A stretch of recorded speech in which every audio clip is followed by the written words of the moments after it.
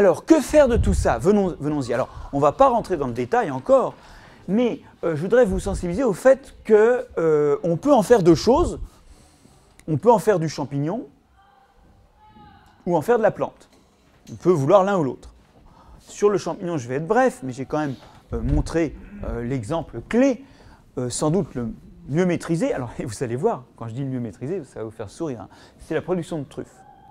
Alors, pour un truc maîtrisé, c'est chaud quand même. hein. Euh, vous savez que donc souvent, la présence de mycorhizes de truffes se traduit par ce qu'on appelle un brûlé. C'est une zone où l'herbe pousse pas beaucoup. On ne sait pas pourquoi. On a plein d'hypothèses. Juste une chose que je vous dis au passage, c'est que dans le travail de thèse de, de Laure, que tu as vu passer dans votre labo il n'y a pas longtemps, euh, elle montre que la truffe fait des ectomycorhizes là-dessus et qu'elle rentre dans les racines des plantes herbacées. Elle ne fait pas une mycorhize, elle fait quelques filaments de ci, de là. Et ce qu'on pense, c'est qu'il y a une interaction directe avec les systèmes racinaires et que c'est un des facteurs, il y en a peut-être d'autres, qui explique ce brûlé. Bref, quand vous avez de la truffe, vous le voyez parce que vous avez du brûlé.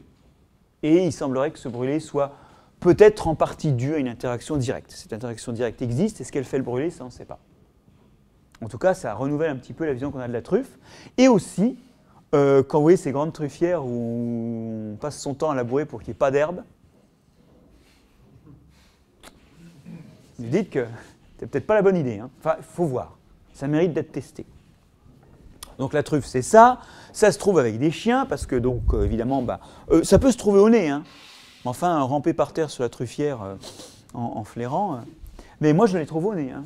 N'importe qui peut les trouver au nez. Oui, parce que les cochons, eux, ils cherchent les truffes pour les manger. Donc la recherche au- aux cochons, c'est juste pour les fêtes touristiques, autour de la truffe, pour faire folklore. Quoi. Alors, euh, sachant que la truffe est mycorhizienne, on a développé de l'inoculation en pépinière.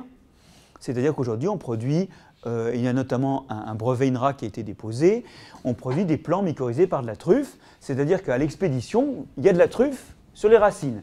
Après, est-ce qu'elle survit quand vous plantez vos arbres? Et si elle survit, est-ce qu'elle va donner ceci qui est l'organe reproducteur? Ça, c'est une autre paire de manches et ça ne marche pas plus de 55% du temps. Ouais, enfin 5 à 10%. Ça dépend parce qu'il y, a des- mecs qui ont de la chance. hein. Euh, tous leurs arbres vont donner. Il y en a d'autres, ils plantent et il ne se passe rien. C'est-à-dire qu'on ne connaît pas encore bien, en fait, on sait comment inoculer et on obtient des mycorhizes de truffes. Mais après, la persistance du champignon dans le milieu euh, complexe euh, qu'est le sol, euh, c'est chaud. Et ça, c'est déjà un truc super important. C'est qu'il ne suffit pas de mettre le champignon, même installé, qui reste, c'est notre paire de manches. Bref, ça a quand même amélioré la, la- la situation des trufficulteurs, hein, mais euh, ce n'est pas la panacée encore.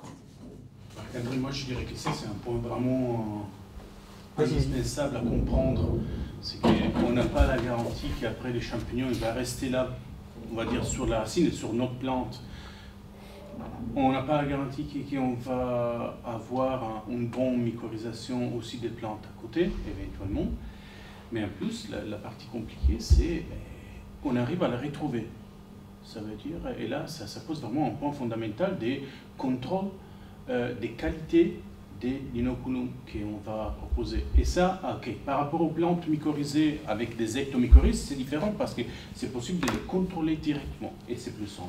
Même visuellement, c'est pas Même besoin d'aller très loin. hein. Mais pour les inoculums commerciaux qu'on peut trouver pour les champs des endomycorhizes, là c'est bien plus, compl- plus compliqué à, à faire parce que, bien, on les met, mais combien ça reste? Et comment on fait à retrouver la même souche? Ça, c'est la partie effectivement compliquée. Donc, ça pose là effectivement le problème. euh, en anglais, c'est dit les conundrums, euh, les, problèmes vraiment principaux de dire, euh, mais on a mis quelque chose d'effectivement efficace ou non? Et donc, il faut, demain, demain, on va réfléchir un petit peu aussi sur, euh, sur, cette c'est Bah, merci d'avoir vraiment euh, le creux de- le problème parce que c'est un très grand problème. Ah, moi, d'ailleurs, je vais, je vais montrer euh, des solutions à ce problème pour les ectomycorhizes. Juste après, j'ai un deuxième exemple. Mais euh, vous allez voir qu'effectivement, on n'est pas sorti de l'auberge pour autant par rapport au modèle endomycorhizé. En tout cas, euh, c'est produit, donc, euh, c'est décrit ici sous contrôle et licence INRA. Et qu'est-ce qu'on contrôle? La présence de mycorhizes visuelles sur une plante par l'eau de sang. Et donc, euh, après, on peut dire, voilà, le lot, il est bien mycorhizé. Mais c'est facile, ça. Au départ de la pépinière. Au départ, la, au départ, la pépinière. Est-ce qu'il peut y avoir une interaction donc, avec d'autres champignons du sol qu'on plante qui détruisent euh, De la compétition, Ouais. du remplacement, un stress à la transplantation, enfin, Ça arrive pour les ectos, mais aussi ça arrive pour les endos. hein. C'est- un, effectivement, C'est que- c'est un bon point. Alors, quand on transplante avec la motte, encore, euh, le mycélium externe, il reste. Si on transporte racine nue, alors là, c'est le foutoir, parce que le champignon, il est, privé de ses bases arrière. il y a de fortes chances de ne pas ressortir de la racine et d'y crever. hein. Bien. Alors, le deuxième exemple que je voulais vous donner, euh, c'est le reboisement des terres agricoles. Quand on reboise des terres agricoles, bon, c'était très à la mode quand, on gelait des, des terres, hein, c'est l'est un petit peu moins maintenant, mais il y a un vrai problème, c'est qu'on introduit, ici c'est des Douglas, euh, dans le Morvan. Le Morvan a été très reboisé par du Douglas, euh, qui, parmi les conifères, est quand même ce- celui qui abîme le moins le sol. Après, c'est du Douglas et c'est quand même un conifère. Euh, quand on le met en terre agricole, bah, c'est le foutoir. Parce que, regardez, il est tout jaunasse, là. bah, c'est- ces arbres-là, ils ont déjà 5 ans à la parcelle. Ça pousse pas bien. Alors, pour plein de raisons. hein. Mais il y en a une des raisons qui est que dans ces sols-là, ils n'ont pas les bons champignons. Ils, vont finir par les avoir, ils vont finir par pousser, mais vous, vous êtes sur une plantation de Douglas, vous voulez, une- voulez que ce soit la génération suivante qui ramasse. Donc autant que ça parte vite. C'est-à-dire, si ça part vite, ça évitera que ça crevasse, euh, que ça crève, je veux dire, en, début de cycle. Alors, pour le reboisement de terre agricole, et avec le modèle du Douglas, l'INRA a développé une méthode. Alors, je te voyais frémir, on peut penser ce qu'on veut de la replantation de Douglas. Moi, je pense que c'est moins pire que l'épicéa et que c'est déjà ça de gagner. Euh, parce qu'après le Douglas, on peut revenir au feuillu. Après l'épicéa, euh, on n'a plus le choix. hein. Bon, en tout cas, négligeons ici l'aspect discutable d'un aménagement du paysage à coup de parcelle de Douglas. Revenons à l'aspect purement technique, parce qu'il est intéressant. L'INRA a développé un système d'inoculation de Douglas. Alors, vous avez- deux planches de pépinière. Euh, c'est une pépinière, c'est celle de. Merde, c'est dans le Limousin. Et euh, vous avez des planches de 1 plus 1, c'est-à-dire c'est des semis qui ont été réalisés une année, d'accord Puis ils ont été repiqués un peu plus espacés, et là vous êtes l'année suivante. Donc de 2 ans, mycorhizé par un champignon qui a été sélectionné parce qu'il aidait le Douglas à pousser, ou non inoculé, c'est mais, mais mycorhizé parce qu'il y a dans la pépinière. Parce qu'il y en a dans la pépinière. Ouais. On peut espérer. Ce qui n'est pas le même procédé que tout à l'heure où vous avez mis directement la mycorhize sur les racines. Ah oui. Là, on est, on est soit sur du spontané, soit sur de l'inoculé. Je vais revenir sur comment on inocule, parce que vous allez voir justement, euh, comme il y a du monde là déjà, ben, rajouter le champignon, c'est pas aisé. Alors je vais revenir là-dessus, mais vous voyez que quand même il y a une différence de croissance très nette. En fait, ça avait un intérêt pour les, pépiniéristes, c'est que normalement on produit du euh, 1 plus 2 ou du 2 plus 1. C'est-à-dire qu'on fait euh, un an ou deux ans en semi-serré, puis on repique et on fait quantité suffisante pour 3 ans pour atteindre la hauteur voulue. Ici, en 1 plus 1, on atteint la hauteur réglementaire pour la vente. Donc une immobilisation de capitaux d'un tiers en moins. Sauf que la profession pense qu'un bon plan est un plan qui a passé 3 ans en pépinière et donc euh, elle euh, veut que ça, ça reste encore un an en pépinière. Et donc on- ce qu'on a gagné en croissance, on le perd à cause des habitudes. C'est dur des fois de changer les habitudes. hein. En tout cas, comment on fait pour inoculer Bah, C'est simple. On stérilise. Alors on faisait ça au bromure de méthyle. Maintenant c'est un peu interdit. Et euh, je ne sais pas comment on fait d'ailleurs maintenant. On stérilise la planche de pépinière et on répand dessus des petites billes d'agar dans lesquelles on a encapsulé du mycélium de champignons cultivés en fermenteur. Donc on fait place nette, on rajoute le champignon, du coup il a un avantage compétitif, et voilà la façon d'inoculer ce champignon en pépinière, pour produire du Douglas inoculé par un champignon qui l'aide à pousser bien. Et alors je vais vous raconter, alors là une, séquence d'émotions, je vais raconter ma thèse, vite. hein.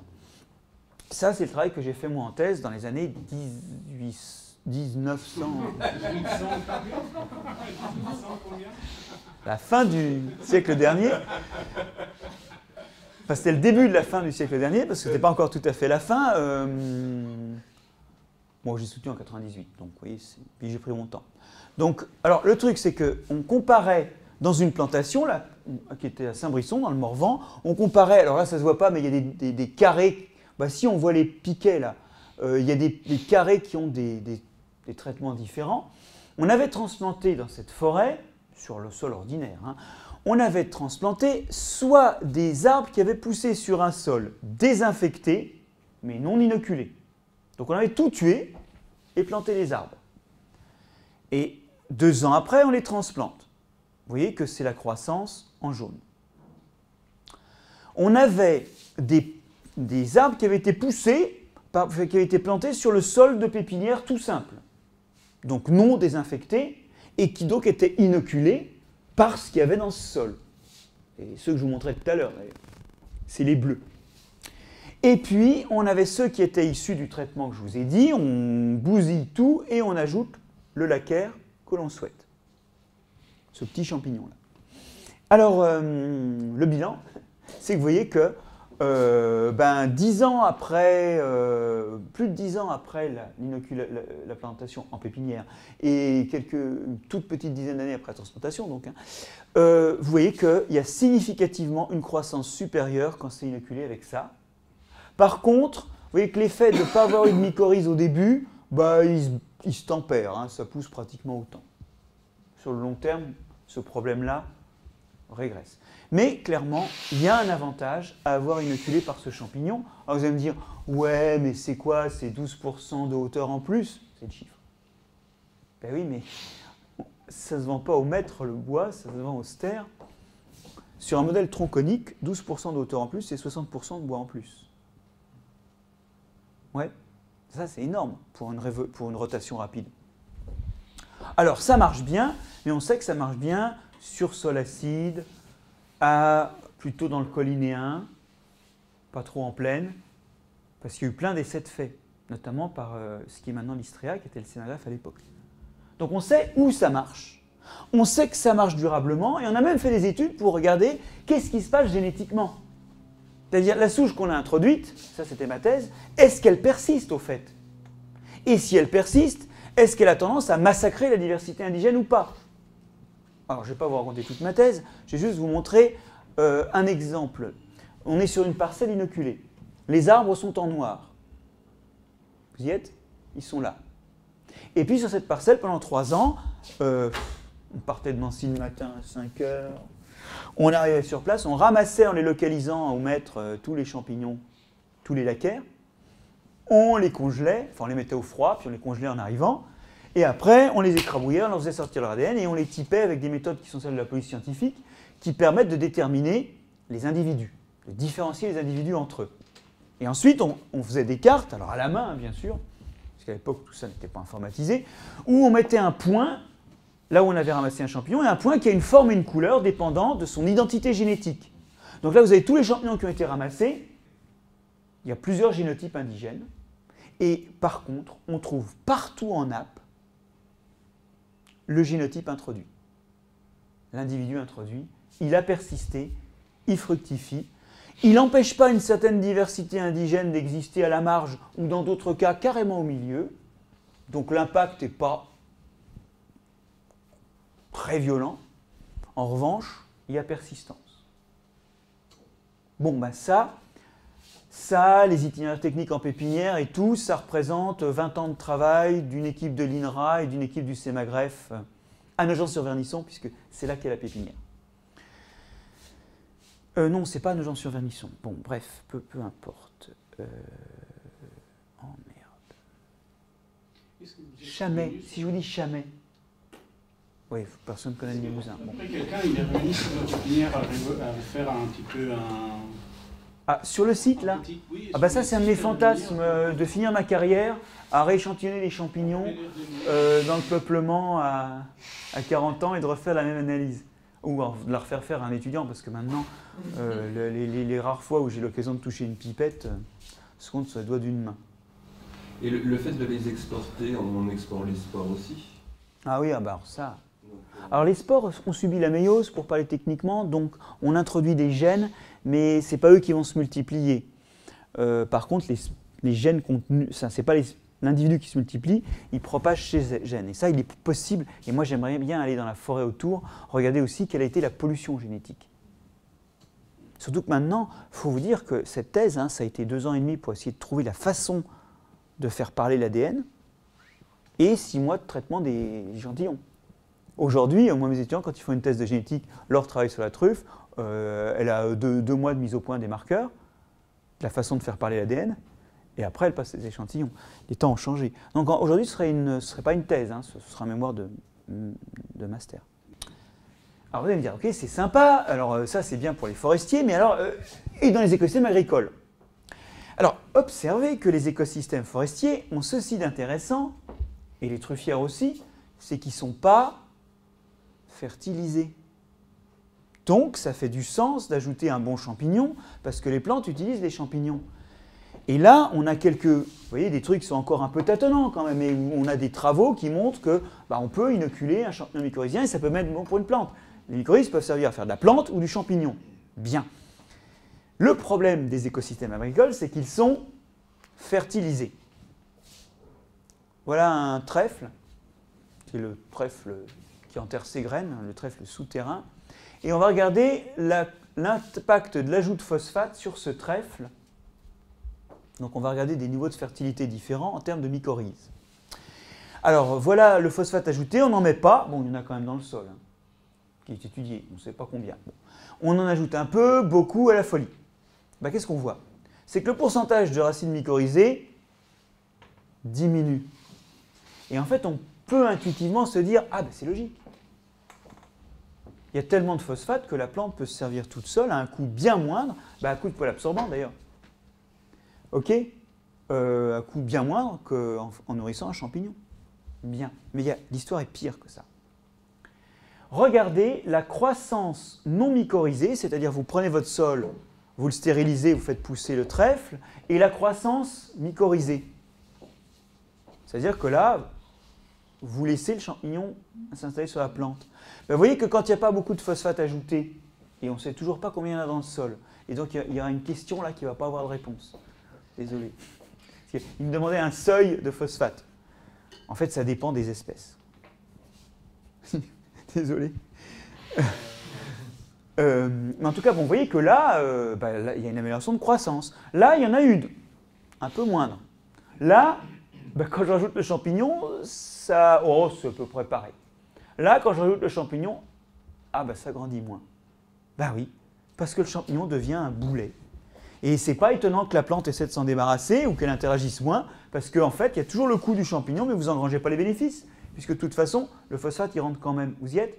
Et donc, euh, comme il rentre quand même, bah, s'il n'y a pas de champignons, bah, vous grandissez plus. Vous y êtes, la mycorhization devient un boulet dans un sol riche. Bah, là, tout est dit. La question, c'est est-ce que mon sol ressemble à un sol où le champignon booste, plus 45%, ou un sol où le champignon est un boulet, 14% en moins de croissance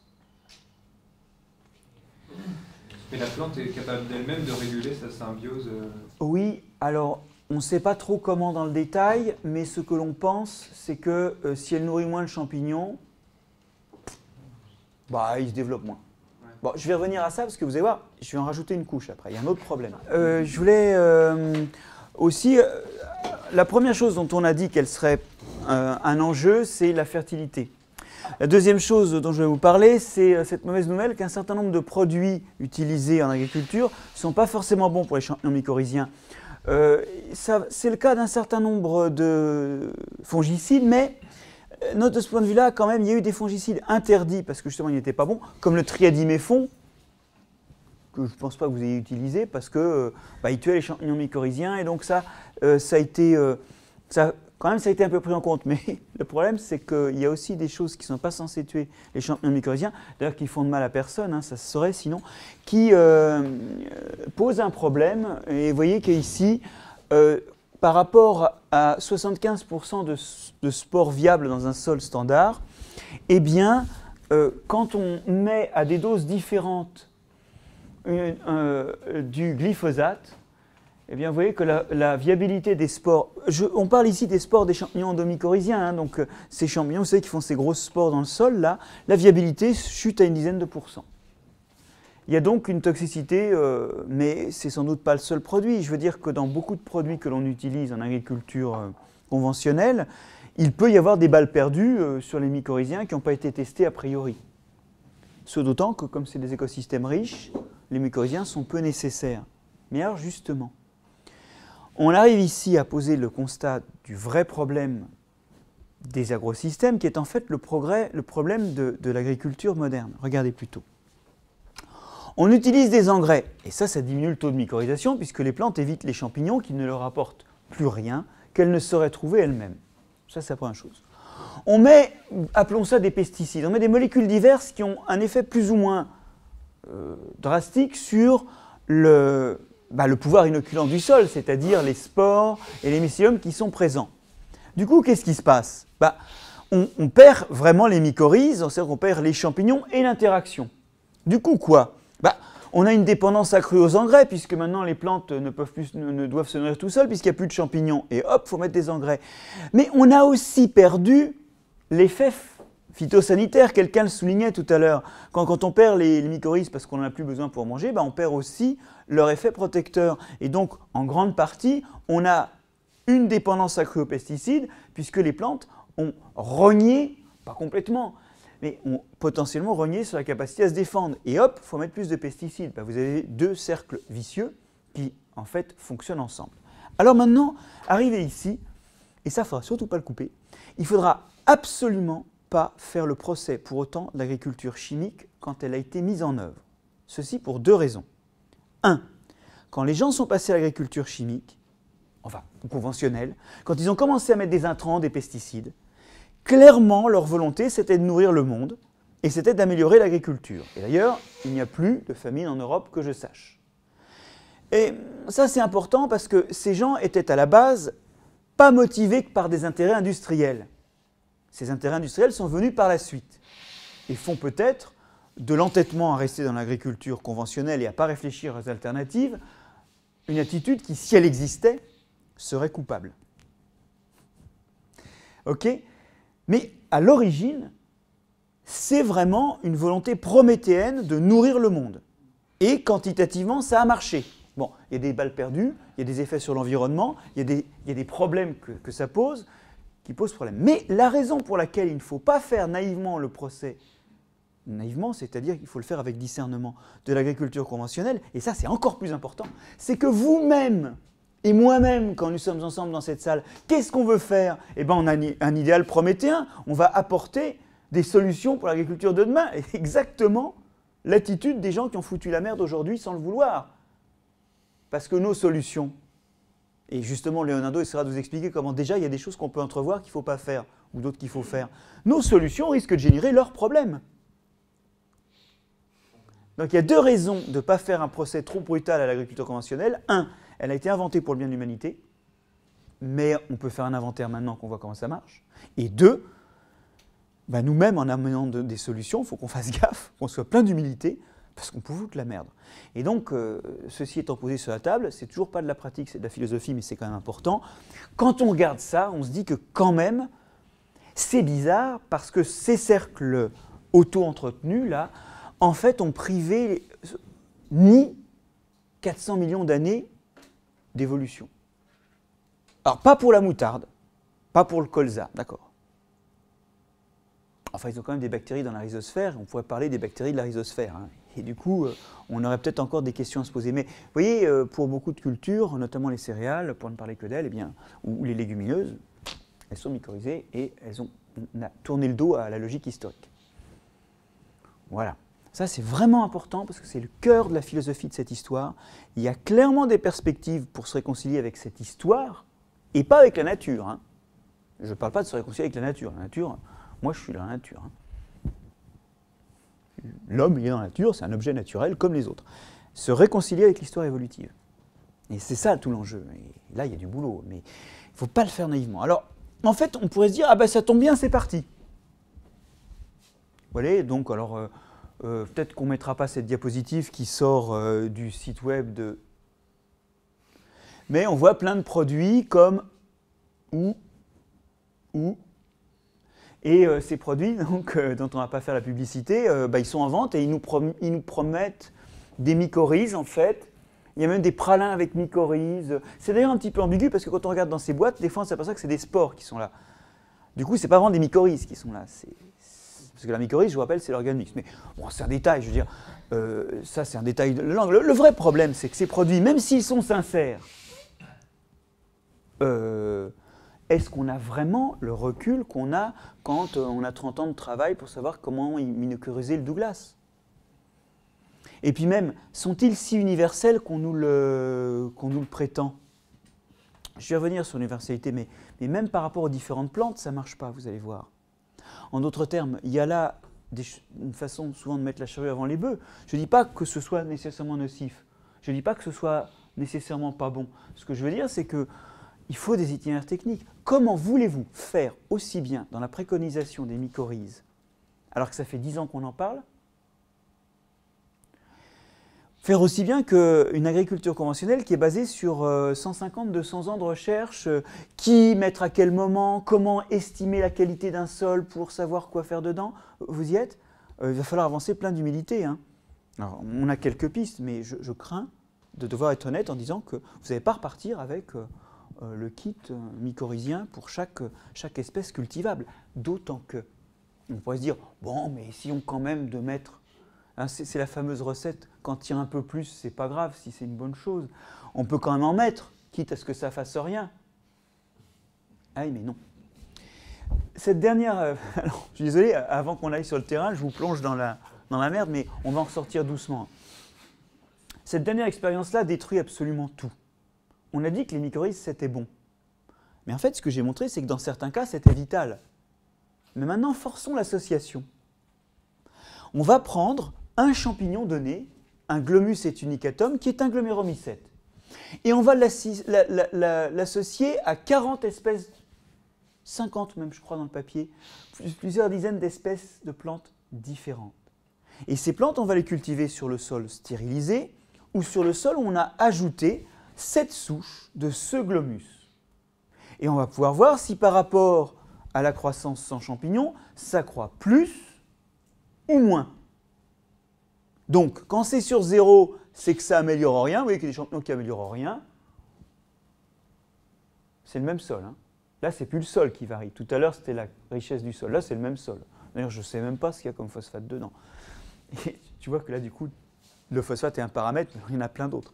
Euh, et, et je vois qu'il y a des espèces dont ça améliore la croissance, jusqu'à 50% de croissance en plus, en, en biomasse. Cool. Mais il y en a quand même quelques-unes où ça peut réduire la croissance jusqu'à 50%. Un champignon donné n'est pas bon pour une plante donnée. Vous savez, vous avez peut-être essayé de faire des couples dans votre vie. Vous avez dû remarquer qu'un couple, ça peut être un truc super, mais ça peut aussi merder complètement. Tout dépend de qui on met en présence. Quoi.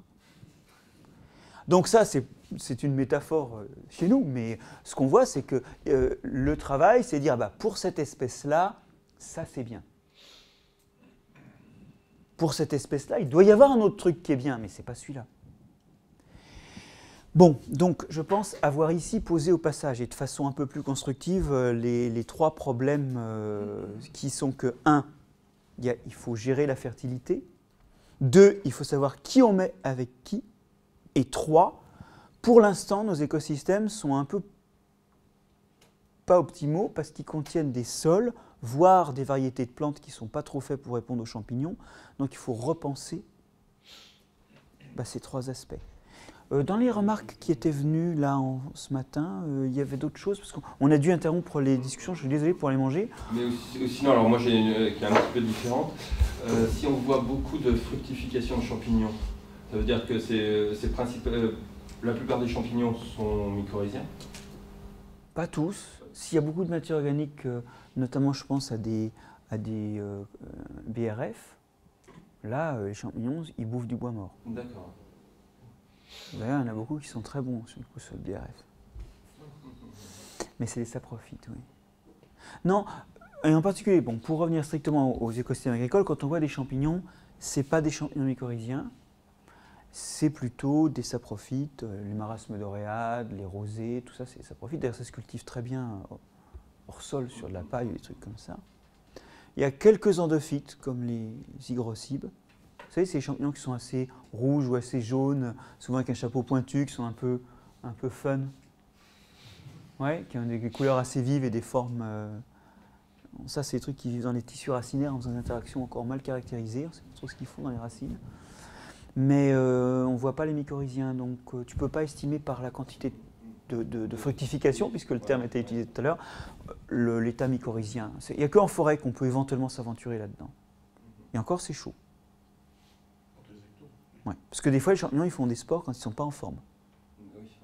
Parce que c'est une voie de sauvetage, d'attente et d'exportation. Donc il y en a qui font des sports quand ils sont bien, il y en a d'autres qui font des sports quand ils sont pas bien, et en moyenne, du coup, quand on voit des, des organes qui fabriquent des spores, on ne peut pas conclure en moyenne. Il faut réaliser que quand on dit un champignon, c'est comme si on dit un animal. C'est-à-dire que ça peut être une étoile de mer, une patelle, un chien ou un dinosaure. Donc ça, ça fait que c'est difficile d'estimer. le- Et, aujourd'hui, il y a un gros problème. Il y a des gens qui cherchent à faire des listes de champignons rares pour les protéger. Et alors, ils font des listes de champignons qu'on voit rarement fructifier. Parce que c'est là qu'on les voit. Et en réalité, dans cette liste, qu'est-ce qu'il y a?